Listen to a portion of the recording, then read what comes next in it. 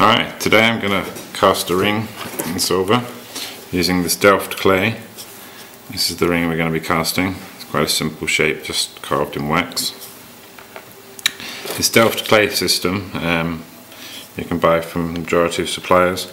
Uh, it originally comes in two round forms, though I've made these simple rectangular forms, which I think uh, enable me to cast a lot, uh, a lot more thing, a lot more different forms. Now, first, I fill the bottom with its Delft clay.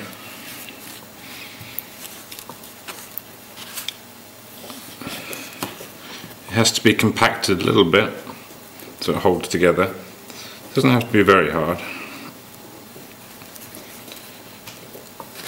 It's good to work on a good flat surface like this because it gives the clay itself a good flat finish into which to press a form that you're going to cast. So that's the first half just filled with clay. We take our form we're going to cast and I think I'm going to cast this ring with the, the narrowest part of the ring down in the mould. So the ring itself is pressed halfway down into the clay. You have to be a little bit clever with the the form you're going to be casting and it takes a little bit of experience to to know how you're going to put the wax into the clay. Not all shapes can be cast like this. I think I probably cast 90% of what I do, maybe more doing there with this technique. So that's the first part filled and with the clay the wax in. The next is to have a layer of uh, uh, ideally talcum powder, but here I'm using um, cinnamon. Any dry powder will work to isolate the first layer of clay from the top. The powder is brushed around and that fills in all the, the gaps and holes and as I said isolates the first and second layer.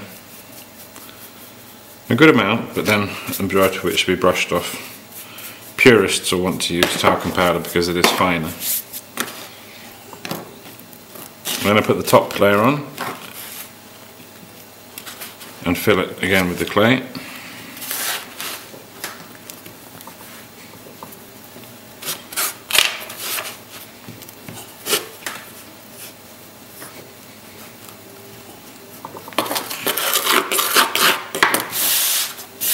a bit messy. Ideally not the sort of thing to do on your main workbench. And as long as you tidy up after yourself it doesn't get too bad.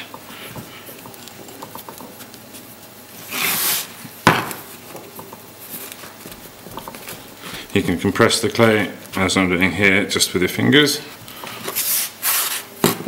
or with the help of a hammer.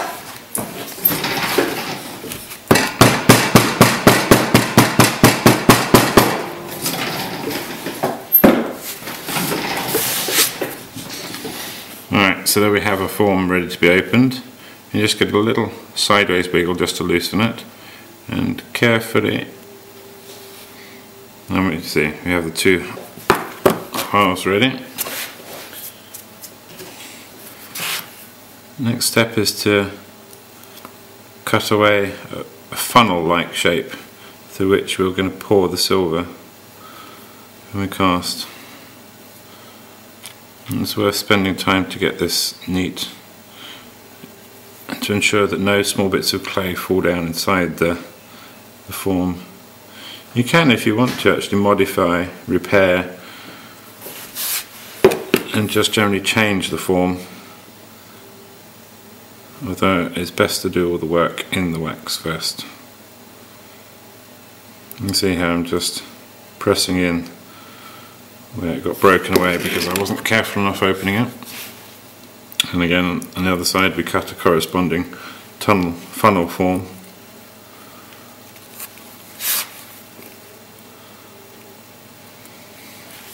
Most important thing is air holes. As the silver comes in to the form so air needs to be able to escape out. So I do that by cutting in channels and this clay really does need to be sliced rather than dragged or ploughed and keep everything as neat as possible. and a hole goes all the way through the, the form to allow air to escape. And as you can see the air hole is at quite an angle.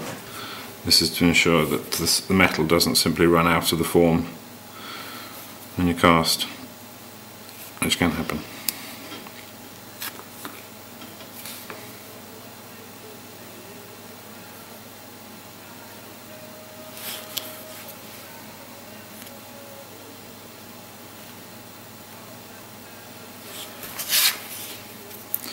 You can probably get away with less than five air holes. It really does depend on the form you're casting, but for, for safety sake I like to use five.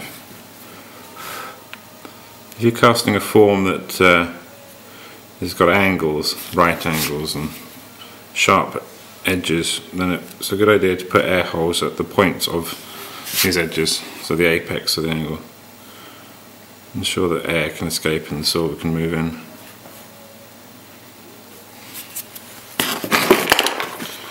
Right, let me just take that ring out.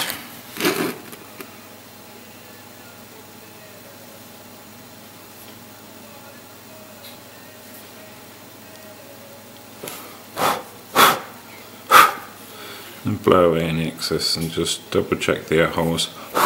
It's very easy that as you cut into the clay it moves into the casting area so we just press back a bit. One last check to make sure the air holes are all clear and you can see there, see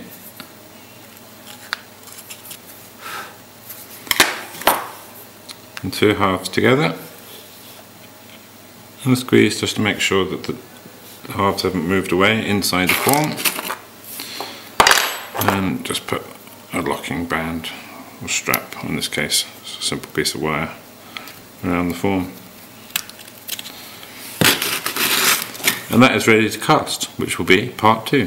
Thank you for watching.